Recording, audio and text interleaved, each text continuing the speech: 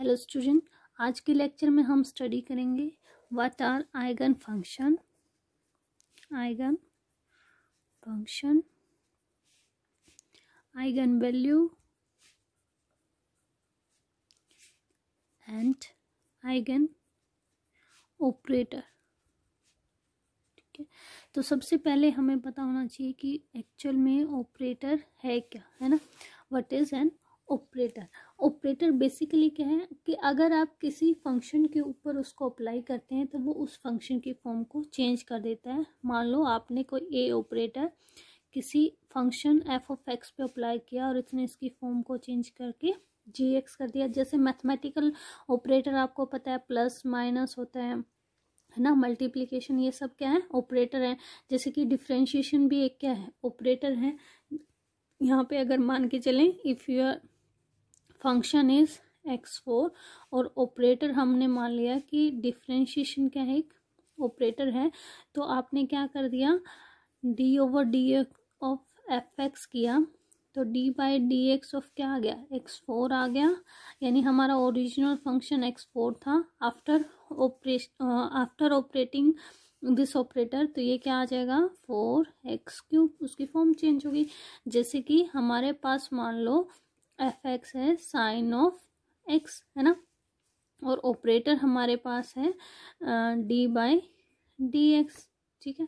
तो अगर आप इसको ऑपरेट करें तो इसकी फॉर्म ओरिजिनल साइन की फॉर्म क्या होती है? इस तरह की होती है।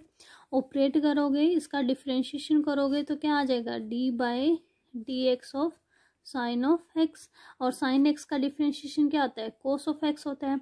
तो आफ्टर ऑपरेटिंग ये जो फॉर्म है, वो क्या हो जाएगी? इस तरह की हो जाएगी, है ना? कोसाइन हो जाएगी, ठीक है? तो ओरिजिनल फ़ंक्शन की फॉर्म को जो चेंज कर दे, वो क्या होगा? ऑपरेटर होगा, ठीक है? ऑपरेटर समझ में आ गए?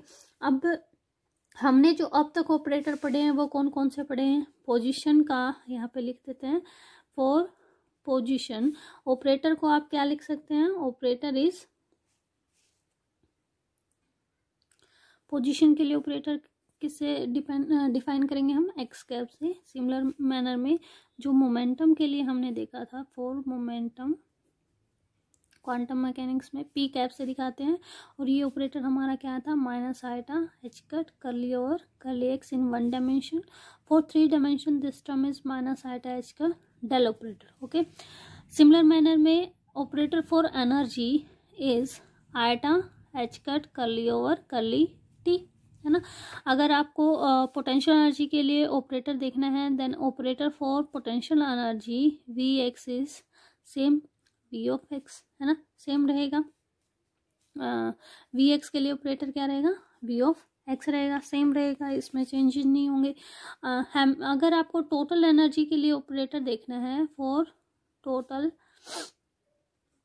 एनर्जी ठीक है? एक तो ये हो गया। ई e, जो हमने टाइम की फॉर्म में दिखाया दूसरा क्या है? हैमिल्टनियन की फॉर्म में आप दिखा सकते हैं। Operator for energy is again P cap square over two M plus P X है ना? यही होगा। और अगर आप पी कैप की वैल्यू यहाँ पे पुट करें, जो हमने यहाँ पे निकाली है तो ये क्या आ जाएगा? Minus H cut square over two M curly square over curly X square plus P of X in one dimension three dimension की अगर आप बात करें then in three dimension this term reduce to H cut square over two M del square plus P function of position R हो जाएगा, ठीक है? तो इस तरह के ये ऑपरेटर हमने जो है क्वांटम मैकेनिक्स में देखे हैं। तो ये हो गए ऑपरेटर अब बात करते हैं what do mean by eigenvalue and eigenfunction देखिए, अगर आपके पास इस तरह की सिचुएशन है कि आपने किसी ऑपरेटर को, किसी ऑपरेटर को किसी साई फ़ंक्शन के ऊपर ऑपरेट किया और आफ्टर ऑपरेशन जो हमारे पास रिज़ल्ट है वो इस तरह से आ जाए। मान लो some constant lambda into same function ठीक है? तो हम इसको कहेंगे कि ये क्या है हमारा आइगन ऑपरेटर ठीक है? ये क्या होगा हमारा आइगन फ़ंक्शन ठीक है? ये क्या होगी हमारी? आइगन वैल्यू है ना? हमने जो है हमने किसी ऑपरेटर को किसी फ़ंक्शन पे ऑपरेट किया और जो रिजल्टेंट हमारे पास आ रहा है वो आ रहा है some constant value into same function. जैसे कि फॉर एग्जांपल अगर हम करें आ, हम डिस्कस करें मान लो कि हमारे पास अगेन फ़ंक्शन जो है पीछे जो, जो हमने एग्जांपल लिया था एक्स फोर हो गया ठीक है? ऑपरेटर हमने लिया था D over D X differentiation तो अगर हम करें इसको तो ये हमारे पास क्या आ गया था? D over d x of x four ये आ गया फोर एक्स क्यूब अब ओरिजिनल तो हमारे पास क्या था? एक्स फोर था। अब हमारे पास एक्स क्यूब आ रहा है है ना? तो ये हम कहेंगे कि ये जो है, आइगन ऑपरेटर आइगन ऑपरेटर नहीं है और ना ही ये जो है, आइगन फ़ंक्शन है, ठीक है? अब इसके अपोजिट दूसरे एग्जांपल अगर हम ले लें, मान लिया हमने फ़ंक्शन लिया f x is equal to e raise to power two x ले लो। अगेन जो ऑपरेटर है वो हमने ले लिया डी ओवर डी एक्स अब ऑपरेट करवाएँ A f x equal to क्या आ जाएगा यहाँ पे?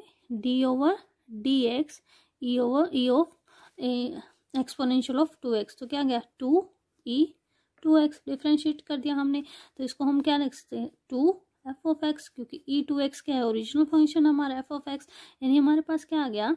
Operator A f x equal to some constant f x तो हम क्या कहेंगे? Here A is eigen operator है ना? ये क्या है? आइगन ऑपरेटर है। ये क्या हो गया?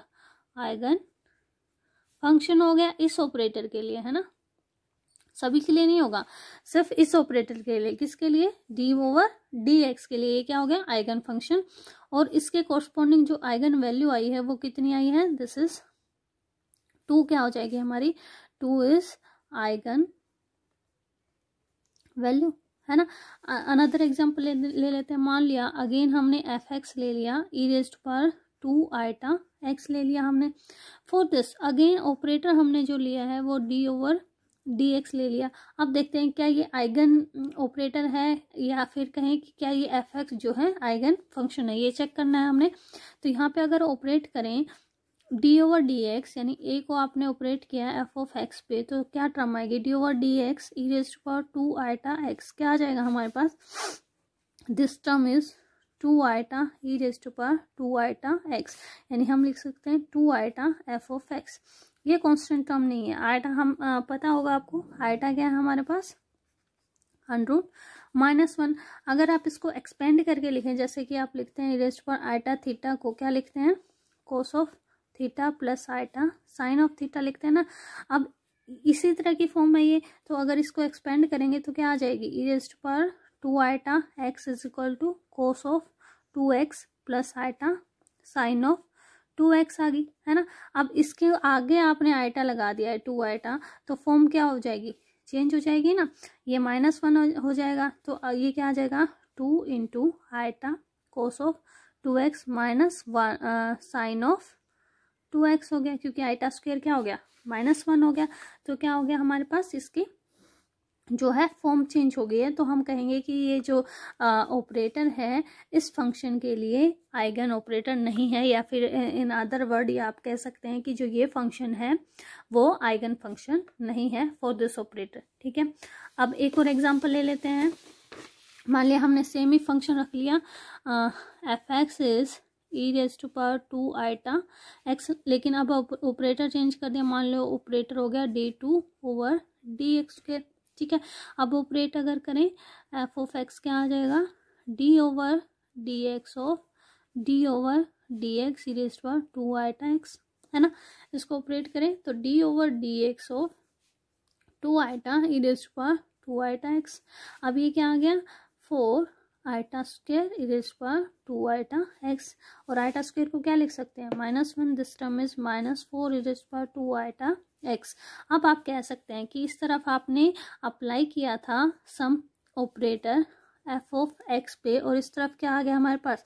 Some value, constant value, again f of x. तो अब आप कहेंगे कि जो ये फ़ंक्शन है, एफ़ ऑफ़ एक्स, वो कैस, कैसा फ़ंक्शन है? आइगन फ़ंक्शन है ये ऑपरेटर जो है, वो कैसा operator eigen operator and eigen value is minus four ठीक है? एक और इसका थोड़ा सा डिफ़िकल्ट एग्ज़ाम्पल इसका कर लेते हैं। हमने जो फ़ंक्शन ले लिया let's f x is our e raised minus two x square ठीक है? अब जो ऑपरेटर हमने माना है A operator is in this form d two over d x square minus sixteen x square ठीक है? गेट के एग्ज़ाम में ये आया हुआ क्वेश्चन है। तो अब आपने बताना है कि यहाँ पे जो आइगन वैल्यू है वो कितनी आएगी ठीक है? आइगन वैल्यू आपने कैलकुलेट करनी है। ठीक है? ऑप्शन यहाँ पे दिए हुए थे I think plus four minus four plus two और माइनस टू तो आउट ऑफ़ फोर आपको बताना है कि कौन से इसकी आइगन वैल्यू होगी। तो आइगन वैल्यू हमने निकालनी है ऑपरेट कर दें। A operate on f x तो क्या आ जाएगा? D two over d x square minus sixteen x square operate on e raised minus two x square ठीक है ऑपरेट करें तो ये आ जाएगा। D two over d x square e raised पर minus two x square minus sixteen x square e raised पर minus two x square ऐसे लिख सकते हैं, इसको ऑपरेट अगर हम करें तो this term is d over d x of एक बार अगर इसका डिफ्रेंशिएशन के अंदर लिख लेते हैं इरेज पर minus two x square minus sixteen x square e raise पर माइनस टू एक्स स्क्र ठीक है? इसको अगर सोल्व करें d over d x as it हमने लिखा है हम्म, ये आ जाएगा देखिए। इसका करोगे तो इरेज टू पावर एक्स का जो होता है वो एज इट इज़ आ जाता है ना, और ऊपर जो होता है उसका डिफ्रेंशिएशन हम कर देते हैं। तो ये आ जाएगा minus two x square e raise to power minus two x square sorry ये क्या गलती से मैंने एक्स स्क्र कर दिया। देखिए, इसका क्या आ जाएगा, इसको minus two as it is आ जाएगा, और फिर एक्स स्क्र का अगर करेंगे तो टू एक्स अलग से आ जाएगा, ठीक है? माइनस सिक्सटीन एक्स स्क्र और ये आ जाएगा raised for minus two x square ठीक है? अब देखिए, ये आ गया हमारे पास d over d x of minus four x e raised for minus two x square minus sixteen x square और e raised for minus two x square आ गया, ठीक है? अगेन इसका डिफ्रेंशिएशन करें, यहाँ पे दो फ़ंक्शन बन गए। ठीक है? Minus four is constant term हो गया। Differentiation of first function second को एज इट इज़ रखेंगे तो एक्स का differentiation with respect to x one हो गया। तो ये आ जाएगा माइनस फोर पर माइनस टू एक्स स्क्र ठीक है? इसको एज इट इज़ रखा। प्लस ठीक है? इस फ़ंक्शन को एज इट इज़ रखेंगे, इसका डिफ्रेंशिएशन करेंगे। तो प्लस में माइनस फोर एक्स को एज इट इज़ रखा। इसका डिफ्रेंशिएशन अगर करें हम अगेन क्या आ जाएगा? माइनस टू और फिर एक्स स्क्र का डिफ्रेंशिएशन करेंगे। तो टू एक्स आ जाएगा तो ये आ जाएगा four x e raise to minus two x square ये एज इट इज़ हमने लिखा sixteen x square e raise to minus two x square ठीक है? तो ये टर्म आ गई माइनस फोर इरेज पर माइनस टू एक्स स्क्र और यहाँ पे आ गया plus sixteen x square e raise पर माइनस टू एक्स स्क्र ये आ गया minus sixteen x square e raise पर माइनस टू एक्स स्क्र ठीक है? तो ये टर्म कैंसिल आउट होगी यहाँ से बचा minus four e raised power minus two x square हमने अप्लाई किया था ऑपरेटर ए को इरेज पर माइनस टू एक्स स्क्र पे, और हमारे पास आया माइनस फोर, सेम, ठीक है? यानी कि ये एक आइगन फ़ंक्शन है, और इसकी जो आइगन वैल्यू हमारे पास आई है, वो कितनी आई है? Eigen value is value is minus 4 so minus 4 is your correct answer